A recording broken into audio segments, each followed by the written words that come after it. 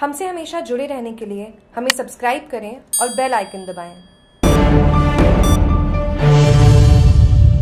पाली ज़िले के रायपुर थाना अधिकारी मनोज राणा की एक और बड़ी कार्रवाई।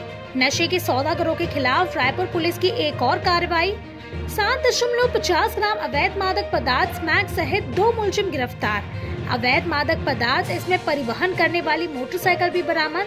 रायपुर पुलिस थाना की नशे के खिलाफ लगातार चौथी बड़ी कार्रवाई। रायपुर थाना अधिकारी प्रतीक मिल, आरपीएस प्रोबेशनर मनोज राणा में टीम द्वारा की कार्रवाई। पाली जिला पुलिस अधीक्षक राहुल कोटोगी व अतिरिक्त पुलिस अधीक्षक डॉक्टर तेजपाल सिंह के आदेश अनुसार ज़िले भर में जारी है कार्रवाई। स्मैक सहित दोनों नशे के सौदागरों से पूछताछ में जुटी पुलिस।